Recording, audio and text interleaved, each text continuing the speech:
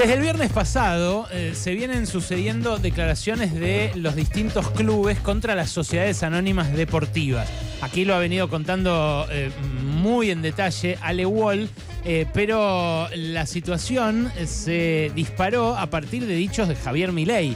Dichos que en realidad Javier Milei había expresado hacía tiempo, pero que exhumó el viernes Ernesto Cherkis Vialo. Ernesto Cherkis Vialo es periodista deportivo. Estuve con él el domingo eh, evaluando el debate ahí en la pantalla de C5N y tiene la gentileza de atendernos un ratito a esta hora. ¿Cómo estás, Cherkis? Ale Berkovich acá. ¿Qué tal, Berco? Qué gusto, qué honor. ¿Cómo estás? No, el gusto es mío. Estoy acá con Ale Wall. Y eh, quería saber cuál es tu impresión después de esta catarata de, declaraciones por parte de los clubes. Es que, es, que, Berco no podía ser de otra manera, porque estos dirigentes que se han expedido tarde, creo, este, son quienes integraban las comisiones directivas en distintos lugares de la avalancha macrista de la intervención a la AFA en el 2016, donde se produjeron hechos realmente este, eh, eh, terroríficos, ¿no? Macri, personalmente, siendo primer mandatario, se ocupó de intervenir la AFA, invitando obviamente a Infantino al G20 y haciendo buenas amigas con él, este, Infantino conoció el, lago escondido en un escondido viaje, mm. este esperó del G20, creo que después había un acontecimiento, acá jugaba la selección o, o había una cosa así, este, pero además avasalló todos los derechos de los clubes del fútbol argentino y de la AFA porque le puso una comisión este, interventora impresentable, porque los pusieron de rodillas a todos los dirigentes con carpetazos este, y, espionaje, porque eh, em, inviabilizó el funcionamiento económico queriendo imponer una nueva ley de fair play, porque especialmente con Tinelli, que aspiraba a ser presidente de la AFA, y amenazó con descontarle seis puntos a San Lorenzo, este, porque además el fútbol argentino vio eh, de qué manera le rescindió unilateralmente el contrato de fútbol para todos, eh, por, con un resarcimiento de, un, de 1.800 millones de pesos que nunca, nunca Jamás el Estado comprometido a través de la articulación de Angelici cumplió con los clubes. O sea, el fútbol argentino vio el avasallamiento. Después hubo de haber padecido el pavor de ver cómo se llevaban un Boca River deliberadamente este, caótico a, a Madrid con un acuerdo ya previo entre Florentino Pérez y Macri, siendo aquel uno de sus hoyos en las autopistas. Es decir, el fútbol argentino, los dirigentes de la FA vivieron todo eso y vivieron el condicionamiento del presidente de la AFA designado a pedido de Moyano en favor de su yerno, que es nada menos que Chiquitapia, dándole a la AFA nada más que la facultad de la del ascenso y el manejo de la selección nacional, este, para lo cual designaron este, a un cachivache como San Paoli, que había venido a la Argentina para hacerse cargo de Boca, traído por Angelici, a quien Macri le puso orilla negra, porque le había hecho la promesa a los mellizos Barros Esquiloto. Es decir, el fútbol argentino lo vio Macri en acción, lo vio a través de un señor Fernando Marín, tristemente célebre gerenciador de la Academia Racing Club. Sí, sí, a, Fernando Marín también lo conocemos por boca de Lewol, eh, aquí a mi lado. Cherkis, vos decís, reaccionaron tardíamente los presidentes de los clubes, pero ¿no reaccionaron justamente cuando vieron que Macri se le sumaba o le intervenía la campaña a Milei? Porque hasta ese momento Milei a mí me da la sensación de que el deporte le era absolutamente ajeno. El fútbol, el fútbol dentro del deporte, pero el deporte en general. eh, eh, Berco, cuando Macri se mete en un tema, este, lo que está en juego son los intereses. Sí, sí, claro. Pero por eso digo. No, no, no, hay fútbol, no hay esencia, no hay pasión, no hay genuinidad, no hay candor, no hay credibilidad, hay negocios. Por eso digo, pero mi ley, eh, hasta ahora, o hasta la incorporación de Macri. Pero mi ley es lo mismo. Es decir, a ver, este, cuando ley le dijo a Fantino que su modelo era el inglés, regocijándose y haciendo bailar sus celestes ojos. Sí alguien debió haberle dicho, vea, este, a la AFA, vamos a tomar recaudo con este muchacho que es este, incontrolable. Si el tipo es capaz de hacerlo, dice, dice, ahora no lo dice, pero no lo desmiente, pero después lo reafirma, que va a ser volar el Banco Central. Y, tu documentación, entre paréntesis, hago un pequeño este, hago un pequeño inciso, ¿no? Sí. Extraordinaria tu investigación, Berco, ¿no? Esto es periodismo en serio, ¿no? Bueno, este, bueno, si el tipo te dice que, que, que, no va a haber subsidio, que no va a haber... Y además se expresa en el sentido de que a él le gusta regocijándose el sistema inglés.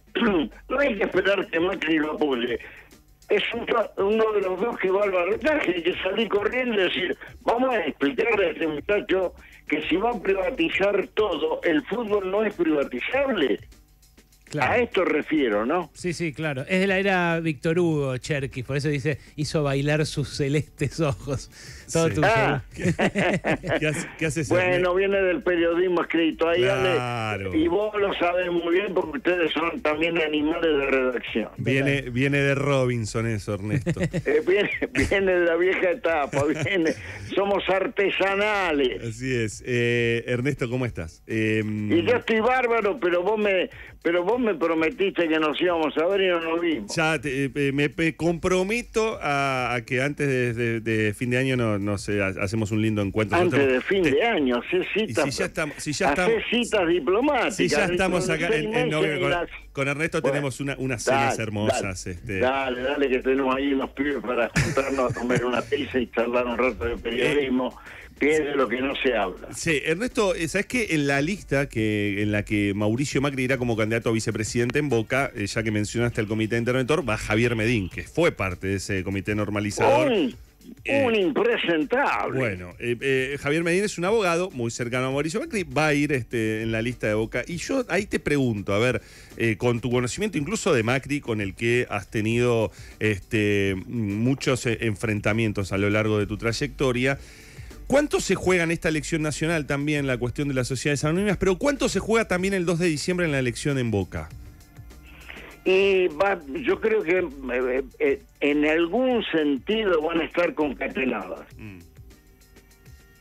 Mm. En algún sentido van a estar concatenadas. Las, las elecciones nacionales van a presentar a un Macri de una o de otra manera en las dos caras de la moneda una cosa es ganando mi ley y otra cosa es perdiendo mi ley. El Macri que va a Boca como recurso, eh. guarda que Boca es el banco para Macri, eh. pero va al banco a la espera de, no sé si gana mi ley si se presenta, porque el sentimiento más bien poco, vocación más bien poca este, este laburo más bien poco. Mm. Él se toma porque la fecha de cierre de las listas le impone tener que expedirse antes de las elecciones del domingo. Pero yo no estoy seguro de que realmente vaya. Por ah, otra parte, mira. Si, si un expresidente va en una lista bajando a un club que no tiene precedentes, no tiene precedentes, es al revés un presidente de club en algún momento de su vida abraza la carrera política y puede llegar a presidente de la nación. Claro. Sanguinetti.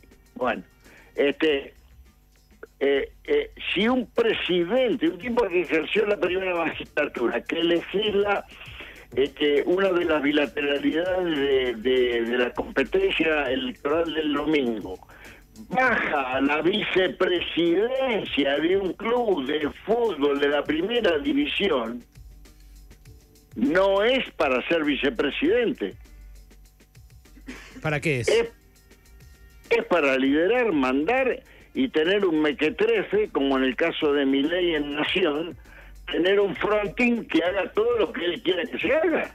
Claro, entiendo. No, la, la intención de Macri está clarísima, eh, Ernesto. Ahora, del otro lado, Massa, eh, que parece tener una relación excelente con Chiquitapia eh, y que me imagino habrá disfrutado de estas declaraciones de los clubes, ¿no? En contra de, de la privatización, de las sociedades anónimas, en contra de mi ley, básicamente. Eh, ¿Qué les da? Porque ahí, bueno, digo, hay, por supuesto, ideas, hay la convicción de seguir siendo entidades sin fines de lucro, asociaciones civiles, que yo, pero también hay negocio hoy, Cherky, es así. ¿Pero qué les da en qué sentido, Berco? ¿Qué, ¿Qué hizo que salieran tan abroquelados todos los presidentes de clubes? ¿Fue solamente...? Porque, ya porque vivieron este, los intentos de Macri por privatizar en la intervención del 16, del 2016, porque vivieron la generación anterior en el 98, el plenario del 20 de julio del 98 en Ezeiza, cuando propuso la privatización de los clubes y la convivencia entre quienes querían privatizarse y quienes no. Porque para negociar con Boca Juniors, siendo el presidente, había que pasar por Gustavo Arriba. Vos tenías a Berkovich listo para, mm, para vendérselo al Real Madrid. Y tenía un representante que era Ale Wall. Y entonces iba Ale Wall a representar a Berkovich y le decía, no, pero la negociación con el Madrid la tiene que hacer Gustavo Arriba. Claro. Es decir, el, el peaje, el, el, el porcentaje, Sí, sí. la participación obligada, eso lo vivieron los clubes argentinos que negociaron con Boca. Ok, o sea, es el terror a, a volver a eso, decís vos, lo que los Eh, mueve. claro, ahora, ¿qué le No, tiene que hay dar otros- masa? ¿Qué hay le tiene que dar masa? Nada. Nada. El fútbol no necesita nada. Los clubes de barrio necesitan, 11.870 clubes de barrio Sí, necesitan. ellos necesitan eh, descuento en los servicios El públicos. deporte, el deporte amateur olímpico necesita. El fútbol, lo que necesita el fútbol es que no le quiten y Macri les quitó una de las de las exhibiciones, este, este, de, mm, las sé carga- si lo de las cargas sociales, sí, el 12-12. bueno, se los, el 12-12, eh, y además el Estado te inviabiliza el funcionamiento de cualquier institución porque te manda inspecciones, Claro. no tenés cancha. Sí, sí, esto mucha Este, gente, esto mucha gente no lo sabe. Eh, Macri eh, restituyó la obligación de pago de cargas sociales a los clubes por el personal de UTEDIC, cosa que Y el IVA. y el IVA, que Y históricamente el está IVA sobre todos los ingresos. claro, eso eso Massa no tiene que hacer nada, lo que tiene que hacer es disfrutar con el espectáculo del fútbol. El día que tenga algún este, libre y juegue Tigre o San Lorenzo. Sí, sí. Y, este, y, y nada más, no tiene que hacer nada, que no le saque nada a la AFA, le devuelva lo que le sacó Macri y deje que la AFA funcione con el- nada, que apoye al deporte amateur y que apoye a los clubes de barrio. Ahí sí te puedo decir en dónde está el Estado. Están, la, están las tarifas, están los permisos, está en el funcionamiento, está en la facilitación. Porque esos son los que necesitan ayuda. Los clubes de fútbol Sí. pueden vivir y le dan a la comunidad un servicio que justifica algunas exhibiciones arancelarias o tributarias por los cuales funcionan, son vitales en la vida de la Argentina los clubes. Ahora, Ernesto, Sí, Sí, sí. eh, digo, en, en tu apelación de, de la semana pasada, que esto me va por mi cuenta, por supuesto, pero este, con, con algunos colegas lo llamábamos el efecto Cherkis, porque hiciste esta apelación y luego vino la catarata, ordenado no por algunos dirigentes como fuera, pero vino la catarata de rechazos por parte de los clubes eh, eh, de, de primera y del ascenso.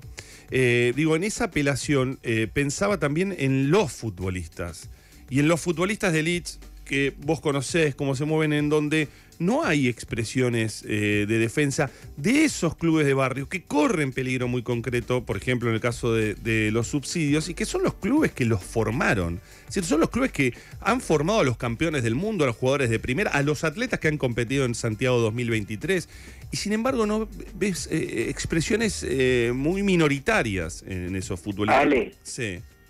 Murió Diego. Mm, No hay otro Diego, ¿vale? mm. la FIFA les prohíbe a los jugadores expedirse y a los clubes y a las selecciones nacionales expedirse de política según, porque con Ucrania a Ucrania le permitió jugar, a, la Unión a, Rusia no le permitió jugar, a Ucrania le facilitó para que valga las eliminatorias, a Rusia le eliminó las eliminatorias. Este, Israel está en Europa y Palestina no participa. Este, eh, un país eh, eh, incluyó a, a, Israel como participante de su campeonato mundial y este y tuvo que renunciar a la sede. Es decir, la FIFA, eh, que es una institución netamente de negocio, manejada por CEOs y no por dirigentes del fútbol, amenaza con sancionar. Adviertan ustedes que el Estadio Malvinas Argentinas, sí. en Mendoza, dejó de mencionarse como tal durante la disputa del Campeonato Mundial Sub-20. Sí, es cierto, es cierto. Porque te amenazan, entonces manda una circular, bueno, ahí eh, nos hemos enterado que hay elecciones en Argentina y que uno de los temas álgidos es el tema de las Malvinas. Guarda que no se le ocurra a la selección argentina salir con una bandera, una bandera, una bandera, una bandera donde diga las Malvinas son argentinas antes de los partidos contra Uruguay especialmente con Uruguay porque es local, o con Brasil, eventualísimamente con Brasil en su carácter de visitante, antes del partido, en el campo del juego. Mirá lo que está tirando. Mirá lo que está tirando. ¿Qué es un dato esto, Cherkis? Es que no lo pueden hacer porque le van a sancionar a la ah, Argentina. Ah, ok, pues estaría buenísimo, ¿eh? En este momento que un candidato presidencial dice que es fan de Margaret Thatcher. La verdad que estaría... Yo te digo cómo se puede hacer pero vos no se lo digas a nadie. Yo, a mí me sanciona la FIFA si salgo al campo de juego por una bandera de alusión política. Pero si en un entrenamiento, el último, en el último entrenamiento o en el día de la atención a la prensa, pongo una bandera que diga las Malvinas a Argentina, no me pueden sancionar. Mira, Está bien. Ese, Ahora, los jugadores, murió Diego, chicos. Sí. El único que lo podía. ¿Ustedes cómo se imaginan que hubiera reaccionado? hagamos un ejercicio de imaginación. Si Diego estuviese vivo, lamentablemente no es así. ¿Cómo se imagina que se hubiera expedido con respecto de alguno de estos temas? Los dejo pensando a los oyentes en eso, porque Mauro ya se quiere sacar la remera, ahora que lo mencionaste a Diego y planteaste la sola idea de si Diego estuviese vivo. Te mando un abrazo, Cherkis, abrazo. Un abrazo muy grande. Se arma la cena, Cherkis, eh, se arma la cena. Gracias por esto, ¿eh? hasta luego. Eh, Ernesto Cherkis Vialo, un veterano periodista deportivo que el viernes mm, destapó esa catarata de declaraciones de los clubes en contra de las sociedades anónimas.